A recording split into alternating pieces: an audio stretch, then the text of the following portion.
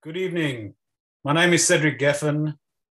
It gives me great honor to invite you here tonight to join us on this um, seventh event for the year.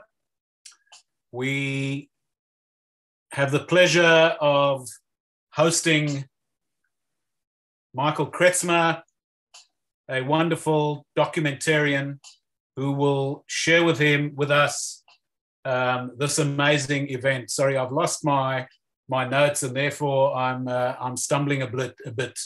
Um, so if you don't mind, um, I am uh, going to hand over now to Michael uh, without any further ado, because unfortunately on my screen I've lost my notes. So Michael, please jump in straight away without further ado. Thank you. Hello, can people hear me? I presume you can. Great. Um, uh, it's really wonderful to see you all and see so many people. And I thank you very much, and I thank Cedric very much for setting up this event. Um, I'm particularly honored to be part of uh, something to do with March of the Living. And I see the role that I have now uh, to raise awareness of the Holocaust as very much in the tradition of March of the Living. I see this as a, dem- a, democratized process where we Jews take control of our relations and our attitude to Lithuania. Because I must say, at the moment, I don't think we are well served by all of our community leaders in this regard. This will become clear as I speak more, and you'll understand why I make this assertion. Perhaps I should start by telling you a little of my family because it's relevant to the story and how we grew up. We were a typical Litvak family. We were both my parents were from South Africa. My mother, my late mother, was born in Krugersdorp. My late father was born in uh, Orange Free State. Uh, but we were raised in what was then Rhodesia, obviously later became Zimbabwe. Um, but all the institutions of our of our society, uh, our community, and our home were Litvak. Uh, um, um, our attitude to the Holocaust, I think, was also fairly typical. Although, of course, we were aware of it. And of course, uh, all our uh, psychological um, perceptions were, were tainted by it and conditioned by it. We never really discussed it, and we never really discussed the Lithuanian Holocaust in particular. We have these photographs of families who never survived. And over the years, they drifted to the bottom of the photograph pile. We lost the names once my grandparents died and that was it. And I look on this uh, this amnesia, and I, I, I wonder about it because my parents spoke liberally about everything, uh, in particular the Holocaust, but never about Lithuania. And I think the shame of Lithuania, the scale of the uh, indignity of their violence, um, was just too much to bear. I'm not sure one generation can move creatively and constructively to the next, carrying that sort of burden. And I think that's another reason the, the Lithuanian Holocaust was not mentioned very often or very specifically in our home. It was simply too painful. And to get to, to live, one had to simply ignore it for, uh, for at least the first two generations after the event. I do feel now, today, it is the duty of my generation, which what I call the third generation afterwards, uh, some would call it the second, uh, to deal with the subject we have, which is Lithuanian Holocaust denial. Um, so, how did my relationship with Lithuania begin? It began in 2019 when a dear cousin of mine invited me or gave me the opportunity to say Kaddish for all our relatives who were murdered in the town of Biržai in northern Lithuania, uh, in Yiddish. There are very probably some people in this audience whose family also came from Biržai because it had quite a significant uh, Jewish population. Let me tell you a little bit about Biržai. We Jews were 40% of the population. We were 75% of the businesses. Uh, two of the three doctors in the town were Jewish. Two of the three lawyers in the town were Jewish. There were something like six shuls. There were bet midrash. There was a bet midrash. In fact, there were several study houses. There was cheder. There were Jewish theater groups. There was a Jewish choir. Uh, of course, there was a Chevra Kadisha and all the other institutions. But we were very much part and parcel of that town and had been for over 600 years. Um, then in July 1941, everything changed. The Germans came, well, the Soviets left. And this uh, ushered in a, a, a period where we were simply, we woke up one day to discover we were no longer human beings. Um, we were persecuted. There were uh, very uh, theatrical rapes. There were very theatrical murders, such as tying the beard of an elderly Jew to a, to a horse and dragging him around the town to his death.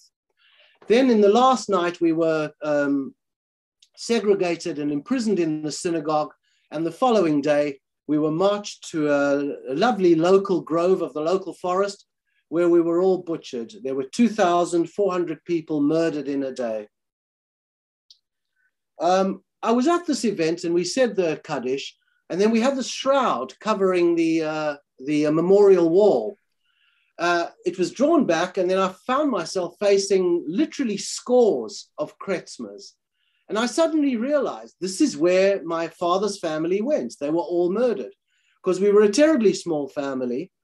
And this was the reason why. I was looking at all my relatives. And as I say, there were dozens of them.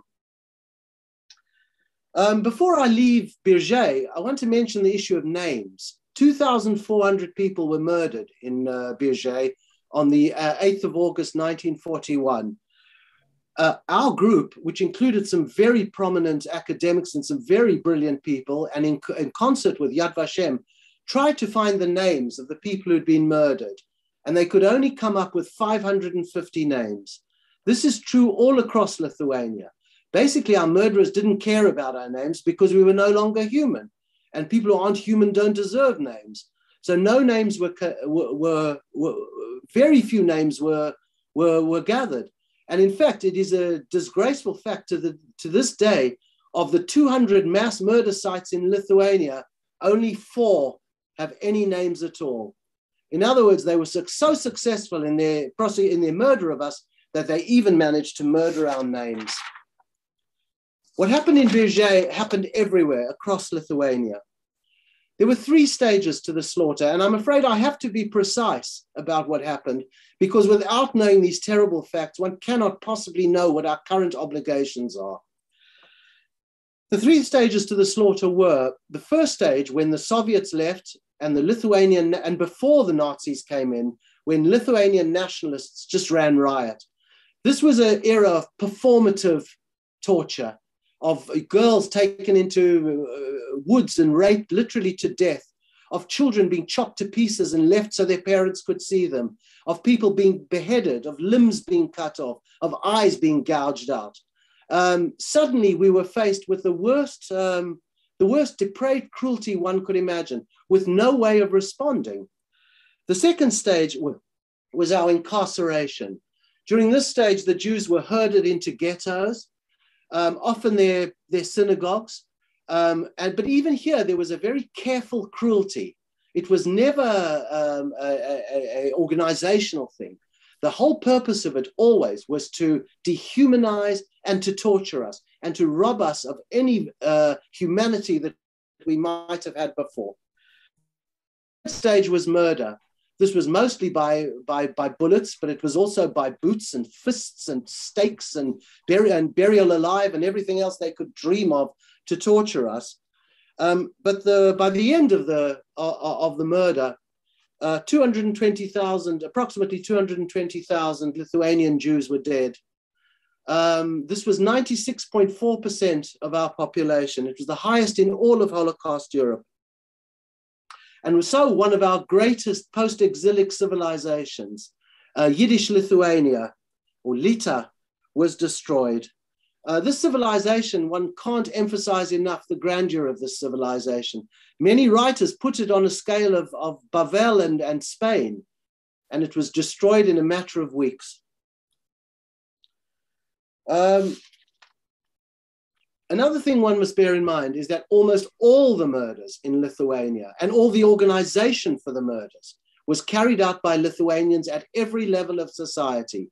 Certainly, the Nazis gave them the permission to do it, but everything was done voluntarily by thousands and thousands of Lithuanians. And to this day, not a single Lithuanian has stood trial for these crimes, not one. We know what happened in Lithuania thanks to a truly remarkable man, a man called uh, Leib Koniuchowsky. Koniuchowsky was an engineer who lived in Kaunas or Kovno, uh, who managed to escape the slaughter. And after the war, he traveled the DP camps um, and the villages of Lithuania to try and find eyewitnesses' accounts uh, to this slaughter. Now, these testimonies were published, I think, two years ago by a remarkable Australian South African Jew, a man called David Solly Sandler. I don't know if David is with us tonight, but this man deserves great credit for this work. It is a truly remarkable book. This is the book, and uh, later during the film, I will put down the uh, ISBN number so people can buy it if they want. But this is 121 eye testimonies from all over the country of what happened in these little villages and shtetls uh, and towns. And it is a compendium, it is a, a collection of tales of cruelty that is simply, it simply beggars belief. You cannot believe that people could have done such a thing, nor that we could have found ourselves in such a defenseless situation. I would really recommend you buy this book. It's unlikely you will read it very often, but it is a testimony of what happened to it, and it is a remarkable document uh, of truth. And truth is very hard to come by in Lithuania today. Um, so to go back to my story, so I, I, hid behind a camera when I was in Biržai, and I made a, a film, a, a, sort of travelogue film about the event where we showed the march to the to, to the death pit, the ceremonies, the various things that went on, the way we were greeted by the local community. And I guess I produced a fairly schmaltzy, inaccurate version of the truth of Lithuania. One thing it did do, and I think I'm glad it did, it honored the people who organized this march and their campaign to try and resurrect the names of the dead Jews of Lithuania. And uh, this is something I support greatly. I don't think we're going to get very far because they were so successful in eliminating our memory that the names simply no longer exist. But I made this film, and on the basis of this rather, as I say, schmaltzy film, I, I got a call from Lithuanian television who offered me this great uh, opportunity to make a film, which I called uh, somewhat pompously Letter to Lithuania, or My Letter to Lithuania, in which I wanted to unravel the various threads that were going through my mind. And they were offering me a large sum of money to do this. And so it seemed like a very creditable um, um, journey. So I started this film, and in doing so, I became aware of a large number of dissident thoughts, uh, dissident intellectuals uh, who had a very different um, um, perception of what had happened in Lithuania. Uh, if I can quickly mention these people, I think it's worth it. The first is David Katz, Professor David Katz, who runs a website called Defending History, and it's a brilliant website, a brilliant resource of Holocaust denial in Lithuania. And basically, uh, defending history's view is that there's a double genocide theory going on, where Lithuanians, Lithuanians say, oh, we were the victims of the communists, then we were the victims of the Nazis, there's a double genocide going on, and we are completely innocent of everything. It's absolutely ridiculous and it's an insult to Jewish people everywhere. But this is the bullshit they tell us. The next people, person I'd like to uh, draw attention to is Ephraim Zuroff, who I'm sure many of you will, uh, all of you will know, who's done a fantastic job in confronting Lithuania. And together with his co-author, Ruta Vanagaite, who herself is an exceptionally brave Lithuanian woman, has told the truth about her search for the truth in Lithuania. And uh, their book is most definitely worth reading. Um, I'm afraid I've forgotten the thing, but I'll find out the title of it and put it up later. Um, now, the other two people for me were Grant Gochin, who you've read about in the blurb, and Silvia Foti, and I will talk of them later. But as I did this film, I became more and more determined to tell the truth about Lithuania. And I started telling my runners this, the, the uh, production company in Vilnius that was managing this film for Lithuanian television. And very soon I became aware that actually I was expected to do the bidding of the Genocide Center. So I started asking direct questions. Can I represent the history of the Jews as I wish to? I come from a, um, a, a British view of documentary making, where essentially the documentary maker has uh, the freedom to, uh, to write and to say in his, his or her film whatever he or she wants. Then I started getting back these kind of um, uh, emails written in this weird Soviet like communist talk saying there has to be a ministry of truth on this and uh, it has to be approved experts who can discuss uh, the fate of the Jews, or as they always call them, our Jewish citizens. Ha ha. Um, so the upshot of this, I became aware that I was not in any position to write this, that this film that I was doing, which they kept offering me money, why? Because Jews love money. That was the reason. Uh, that I was to have no agency in how the Jews were portrayed. This was entirely the responsibility of the Genocide Center. Uh, at which point it became clear what I had to do. I sent them a two word email, and the second word was off. I was now free so what I decided to do was make my own film without any funding.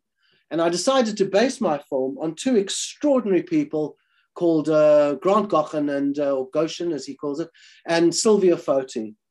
By this stage, of course, I was fully aware of the extent of uh, Lithuanian Holocaust denial.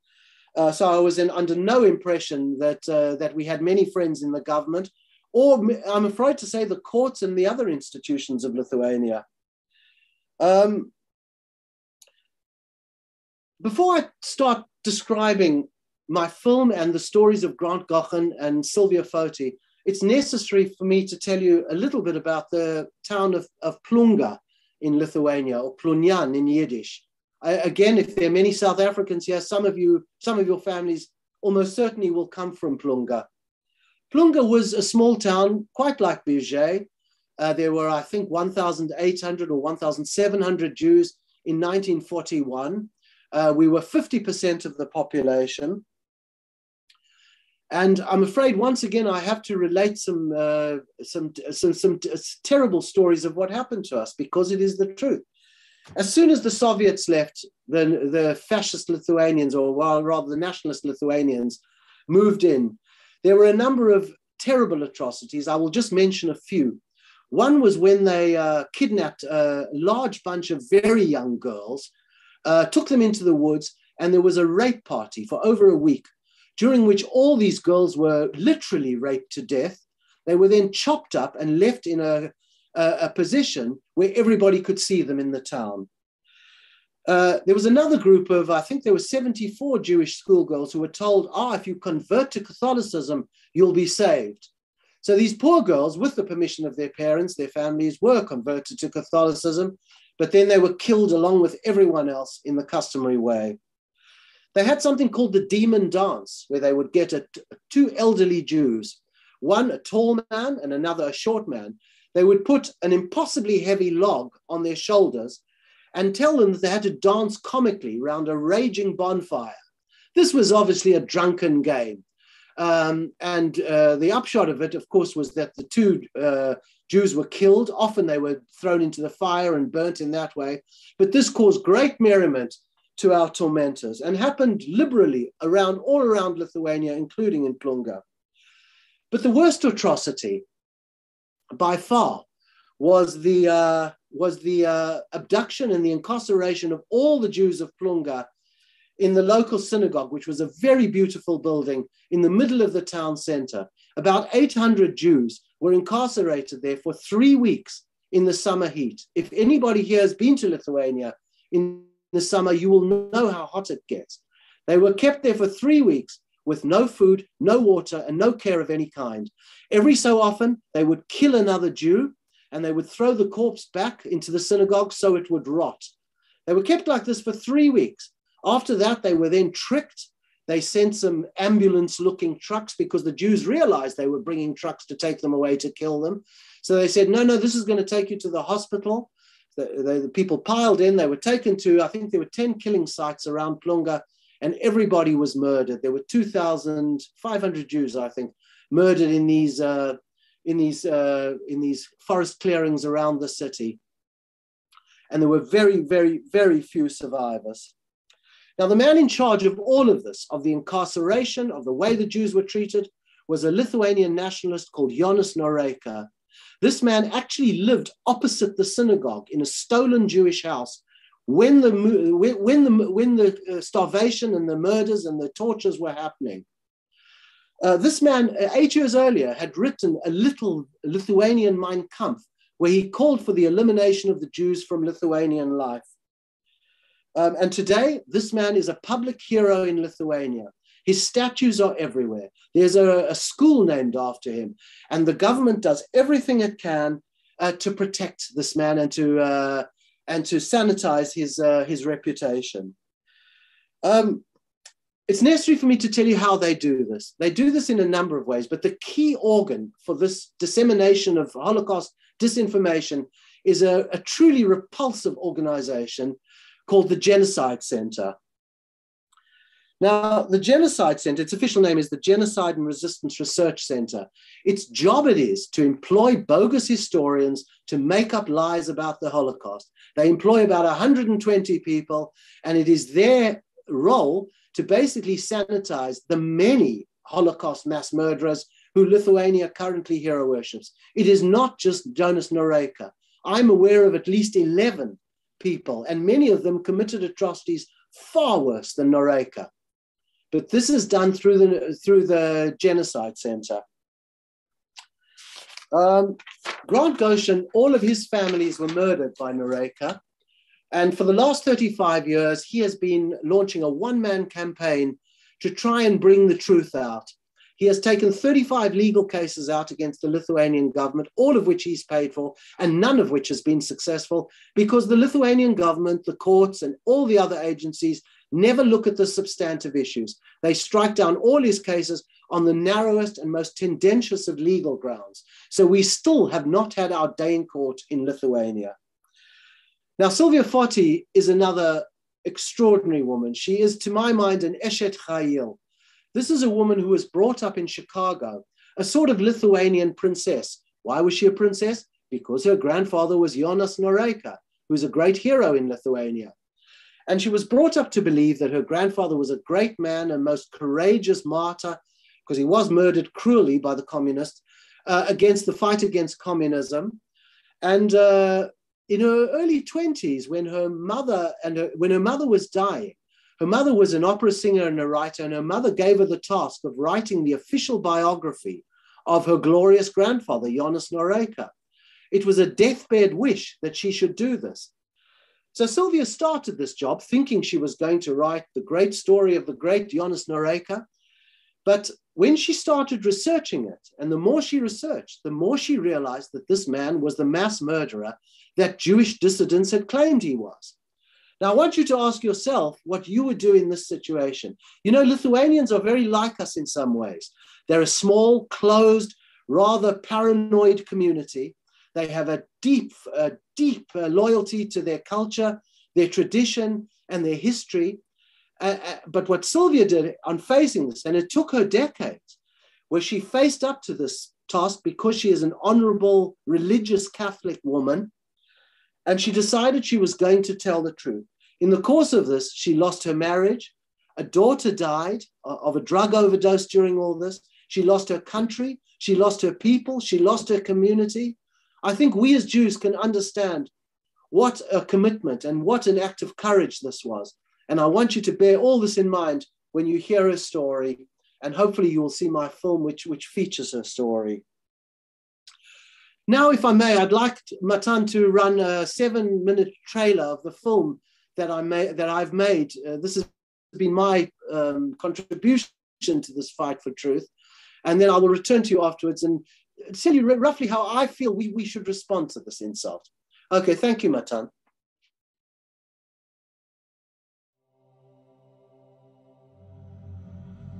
Who were these poor Jewish girls, forced to strip naked before their slaughter? We shall never know. Their Lithuanian murderers didn't just rob them of their lives, they also took their voice. This film will be that voice.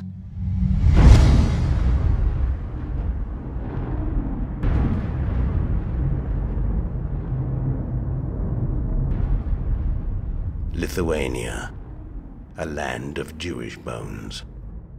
Torture, rape, mass murder, everywhere. Stories so terrible, they can barely be told. These are the Jews of Plunga.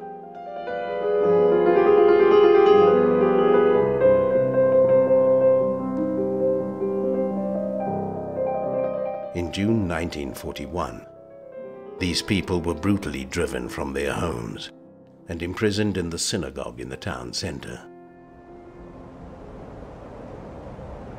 Over 1,300 people were incarcerated here for almost three weeks in the summer heat. No food, drink, or care of any kind was offered. Many died of thirst, hunger, suicide, murder. Inside, bodies decomposed. People went insane, and their torment only ended when on July the 15th, the survivors were dragged out in groups to nearby forest sites and butchered. Babies and small children were buried alive or had their skulls smashed against trees to save bullets, a practice common throughout Lithuania. This was the man in charge, a Lithuanian nationalist called Jonas Noreika. This is where he lived during the slaughter, in a stolen Jewish house, right opposite the dying synagogue. This is the booklet he wrote, Lithuania's own little Mein Kampf, demanding the elimination of the country's Jews. These are his signed orders for the imprisonment and deportation of the Jews. This is a man who murdered perhaps fourteen and a half thousand Jews, who led an empire of robbery, humiliation, torture, rape, especially pedophile rape, and cruelty almost beyond human imagination and today he is a public hero in Lithuania. What would these poor girls say? They would say that this is unacceptable, an insult to the Jewish people and the victims of the slaughter. And they would cry out that the world, Jewish and not Jewish, has a duty to respond to this enduring, unnecessary, and dehumanizing insult. We are going to respond with the truth. The truth about Jonas Noreika. The truth about the depravity of the killings and the overwhelming voluntary participation of thousands and thousands of Lithuanians. And the truth about Lithuania's government, the world leaders in manufacturing Holocaust lies and defending Holocaust mass murderers. Fortunately, there are people telling the truth. There is Grant Gochin, whose family was murdered in Lithuania and who has been bravely fighting the Lithuanian government for years through the courts. And there is Silvia Foti, an extraordinary woman whose story we are privileged to tell because Silvia Foti is the granddaughter of Jonas Noreika, the man who slaughtered Grant Gochin's family. The level of cruelty is depraved. Essentially, the darkest, most sadistic side of humanity possible.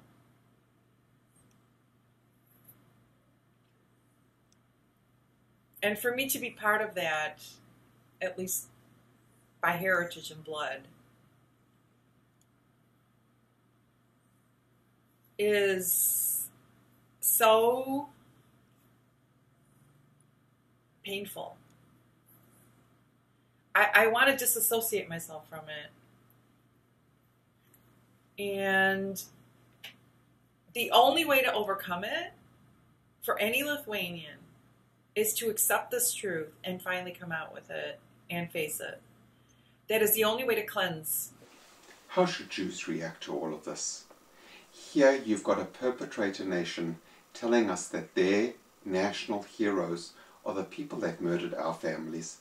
Where is our humanity? Where is our dignity? Where is our self-respect? For Lithuania to come look me in the face and say, we love you, but our biggest national hero is the murderer of your family, it's an insult. It, is, it, it, it goes to the core of our being either we have self-respect and we tell them we will not accept these, these deceptions, or we sell our families and say it's of no consequence. It is of consequence. Our doomed girls have one final question. Does the Holocaust matter anymore? Every year the world says it does. Frau Merkel says so. Monsieur Macron says so. NATO says so. The EU says so. Often. But if Lithuania can hero worship mass murdering Jew haters and lie about their guilt in a most sinister and deliberate way, then how can the free world possibly win the battle against ethnic, racial, religious, and anti Semitic hatred? This is the truth, and it has to come out. What Lithuanians did to the Jews has to be faced by Lithuanians themselves. And my hope is Lithuania is not the only country in this position. There are other Eastern European countries just like this. Maybe Lithuania could be the leader in this to do it, the way Germany was the leader uh, all those years ago. But in this round of coming to terms with it, Lithuania should be the leader. The brutality of the killings and how pervasive they are demands a response. They demand truth telling because this level of cruelty can never be repeated in the world. If we do not identify this and call it out as inhuman, it will happen again.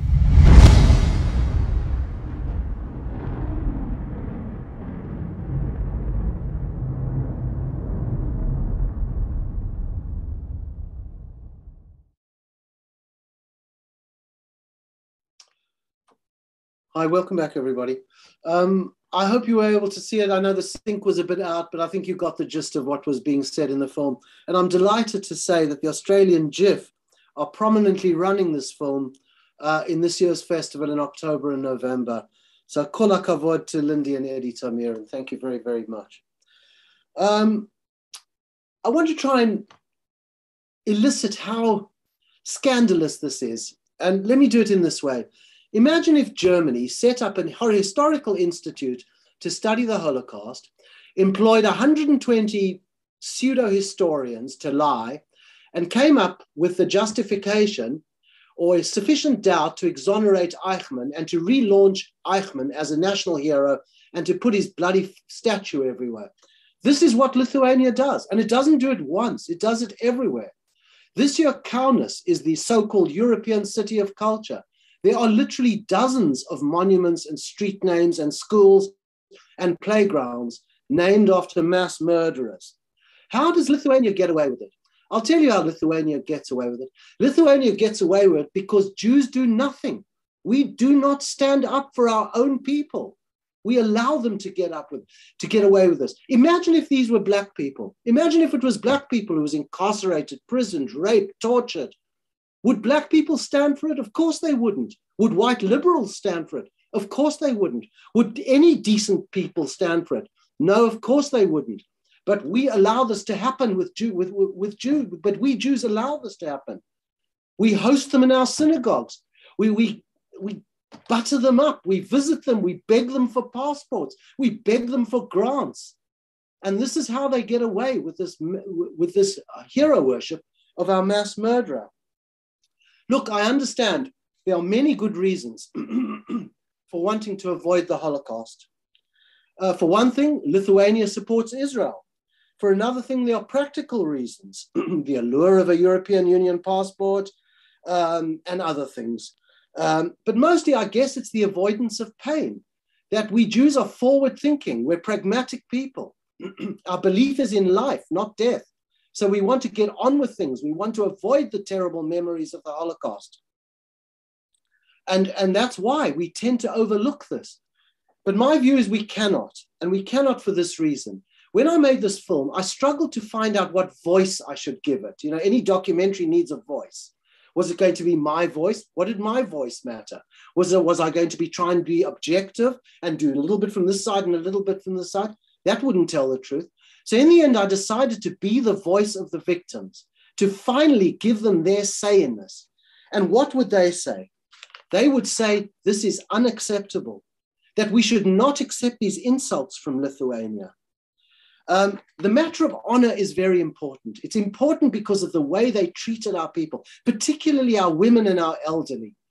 It means that there has to be a response to this degree of dehumanization which they enforced on it. And to my mind, the dehumanization is reiterated by the scandal of Noreika. How can we accept their offers of friendship when they the hero worship the guy who murdered us? Um, you know, we always say never again, and I've no doubt that we mean it. I've no doubt this will not happen. We have a strong Israel. We have an incredibly strong Jewish community all over the world. But to my mind, never again also means another thing. Never again means that we will never again be insulted in the way they insulted. We will never again be dishonored in the way they dishonored us. We will never again be dehumanized in the way they dehumanized us. And they are getting away with it. And as you know, it is time to respond to this. Okay, thank you very much. If there are any questions, I'd love to hear them. Ladies and gentlemen, firstly, I must apologize from the start. My screen went blank and therefore um, I lost uh, my notes. But um, we're going to uh, move on to question time now. I have two questions um, for the moment, and uh, we're, we're open to uh, further questions. Um, the first question um, is from Eva Zeleznikov. Eva, can you unmute yourself or can Matan unmute you and you can ask Michael your question directly, please? Sure, I would love to. Excellent presentation. Uh, thank you. I wanted to know if you did any research about how Holocaust education is being taught in Lithuania today and what specifically the narrative is that's being taught in regards to the Lithuanians' involvement in, in the killings. Thank you very much for that excellent question. Um, first, the first thing to say is, unlike in Germany, the Holocaust is not part of the national curriculum in Lithuania. You see, Lithuanians don't regard themselves as in any way guilty of it. So they would say there's no point in them being part of it because they had nothing to do with it. But there are these, th- these institutions called um, tolerance centers, and much is made by the propagandists on the Lithuanian side to show how much they're doing to understand and uh, apologize for the Holocaust. But even with the um, with the tolerance centers, they are voluntary. Only a minority of schools of schools take part in this program, and generally, from what I could see, and I did visit one of these places, um, what they teach the children is gefilte fish, uh, how funny Jews are, uh, wonderful schmaltzy Yiddish songs, uh, nice uh, ethno- ethnic pictures of Jews with beards. There is absolutely no attempt to deal with who committed the Holocaust and Lithuanian culpability. Absolutely none. In fact, everything Lithu- Lithuania does is to deny all of this and to stop any legitimate inquiry into its behavior during the war. I hope that answers your question. Thanks, Michael. The next question comes from Ian Light, and he asks You mentioned uh, Israel. Uh, he asks, What is Israel doing about this? Um, hi, Ian. This is a, a, another difficult question, and I can only give you my point of view. Personally, I don't feel it's Israel's responsibility, this fight. I believe this is the, the fight of the Jewish people. Israel is a nation state, it has to survive in the world. So Lithuania's votes in the European Union and the United Nations is obviously important. So are its trade links and its study links. I don't want, uh, I don't feel the burden of, of, of this fight should be put on, on Israel. Having said that, I feel Israel is strong enough to do more, to do, for example, what it did with Poland recently. And it distresses me greatly that the Israeli, uh, the IDF has uh, recently announced that instead of taking its soldiers to Poland, they're now going to take them to Lithuania. No, they should have nothing to do with Lithuania, in my opinion. But at the same time, I don't feel we should put all of this on Israel's shoulders. Of course, there are other people who may have completely different views on this, but that's that, that's my position. And there are a number of questions then that follow on from this, Michael, and that is uh, the general question of what would you like to see uh, being done, not only by this audience, but in general. and there's been some suggestions come from the audience. Um, Ian Light, for example, suggested sanctions on, on Lithuania, demanding that the statues be destroyed, uh, no um, NATO membership, etc. Do you have any other ideas that you'd like to put forward? Uh, excellent, Ian. I think one of the principal things we should do is calibrate our relations with Lithuania. They do everything they can to butter us up. They're constantly sending their ambassadors to our synagogues. They're constantly inviting us to these Litvak art days. They, they, they're constantly doing the Jewish spiel. And really, I, I, have no objection to us participating in these things, but I think we should calibrate it. Every time we go to one of these, we should ask about their policy of, of sanitizing our murderers. My own view would be to boycott them entirely, um, because other, if we don't do that, they will take no notice of us at all. And also at the higher levels, we, we should uh, ask their, we, our community leaders should ask their ambassadors, what are they doing about Noreika? How can they justify this and at the same time pretend to be our friends? As for the statues coming down, I don't actually agree that the statues should come down. For me, it would be far better if Lithuania admitted that Noreika was a mass murderer anti, uh, uh, of Jews and a notorious anti Semite, but we think his statue should change. That would be a sufficient rebuke to that country. Of course, if they did that, the statues would eventually have to come down. But I don't think we should follow the line that statues must come down. I think that's a very crude approach. My view, all we want is historical truth. It's up to Lithuania where they want to mass murder, where they want to honor mass murderers. I hope that garbled reply was clear. No, that was great. Thanks, Michael. Um, Gail Zinn, you raised uh, your hand. Uh, would you like to ask a question? Thank you. Um, I won't come on video. I just want to comment um, on your energy. Um, I'm a child of a survivor from the Shavli Ghetto who's only recently passed away. Um, I've been part of a community of survivors from Lithuania, mainly based in Israel, who have had a paper going for 60 years trying to address the cruelty of the Lithuanians and the lack of response. And so this is just a comment and please keep your energy going. And if you have, if you need a following or people to do work with you, I think, you know, it's just remarkable to feel that at this stage when the survivors are gone, that there are people that are prepared to tell these absolutely abominable stories that no one's ever heard. So thank you. Fantastic. Thank, thank you. you. so much for that, Gail. May I interrupt, Ed? Um, yep. Very quickly. Sorry, that's a great comment. And uh, it, I, what I what I don't want people to depend on guys like me. You know, I'm an old, exhausted bloke. I it's taken me two years of non-stop work to make this film. I can't do this campaign alone. And we are such a clever people. We are such a motivated and good people. We have to take it on ourselves to do something. Do not rely on me or even Cedric. We have to get together and decide how we are going to let the Lithuanians know what we think. And I hope small groups form and get together and talk to Cedric. Of course, I'll be happy to try and coordinate it, but it needs a democratized approach. And I promise you this we cannot rely on our community leaders. We cannot, because they are so imbued with this idea that we have to let Lithuania off the hook that it just makes no sense. And they never discuss it.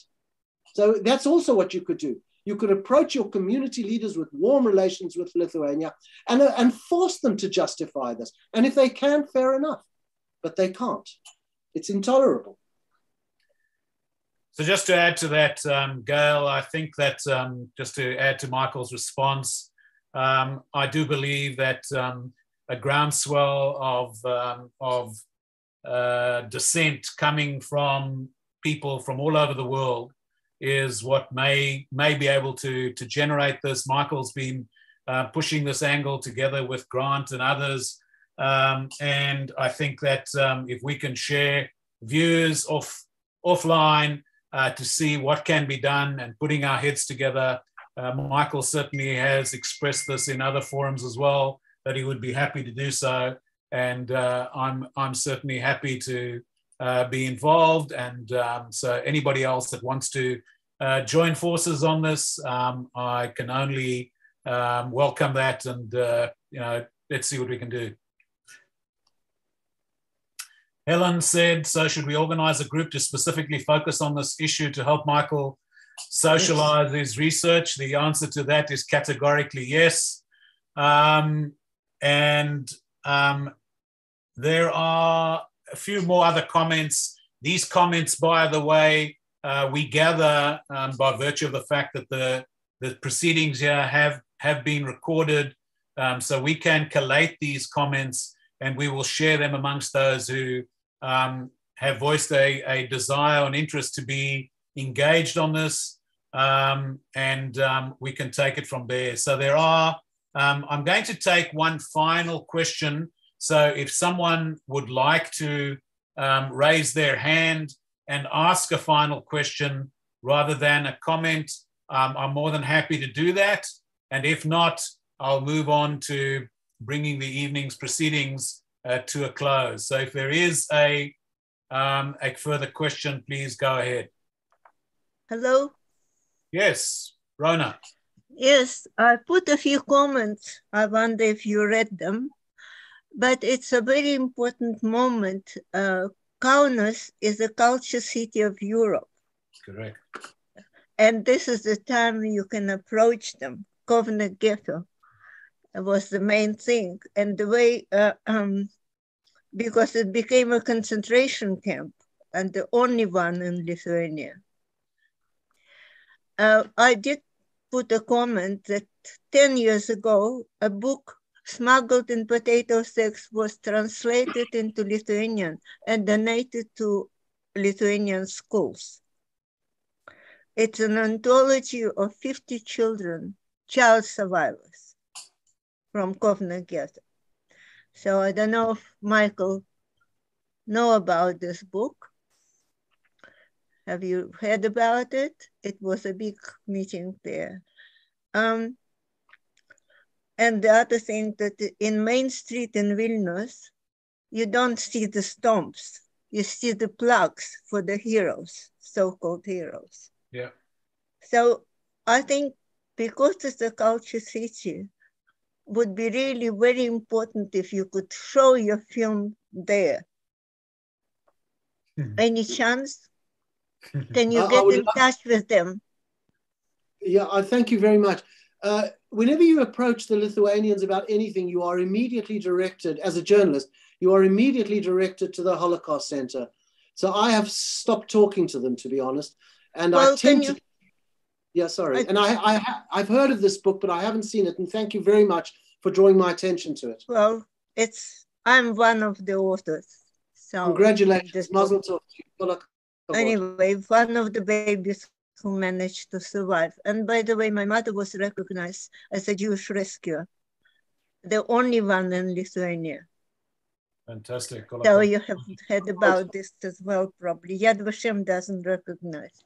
It's Bnei Brit, Jewish rescuers.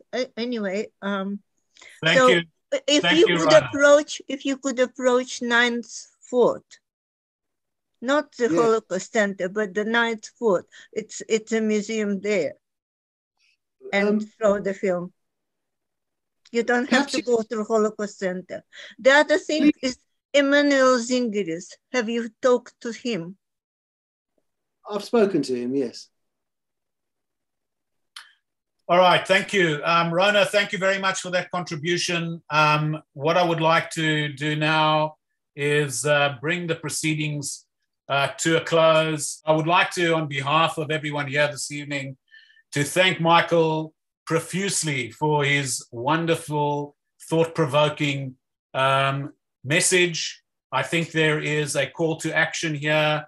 I would call on everybody else um, who finds this call to action of interest, um, we would be more than happy at March of the Living Australia to um, centralize those comments and include that with, uh, with, in, in, with Michael and some of his other collaborators worldwide. Um, so please, let's utilize this forum. Um, I hope that everybody will be able to see the full length movie at the time of uh, the Jewish International Film Festival um, in October, and hopefully Michael can come out then in person and be there for for uh, for that premiere. Um, and without further ado, thank you very much. I really appreciate everybody being here. I hope you found it as interesting and uh, totally um, awe-inspiring and uh, hopefully will move everyone to do something about this uh, travesty of justice. Um, I will end off by saying that um, on the 26th of the month is Holocaust Survivor Day. Last year, 2021, uh, was the first time that this anniversary, recognizing and celebrating the Holocaust survivors around the world, was celebrated. We ran a wonderful event then a year ago that is recorded and on our website. We will be holding some um, events this year around the 26th of, of uh, June, and uh, we would love everybody to participate. Um, and I just want to remind everyone that in April 2023, we will be back. March of the Living International will be back. We will be going on March of the Living uh, live once again. Anybody who is interested in joining us, please join, look on our website, or please scan the QR code that's on the screen at the moment and express your interest. And we would love to see you join us. Thank you very much. And good evening to everyone. Thank you. Thanks, Michael. Thank you.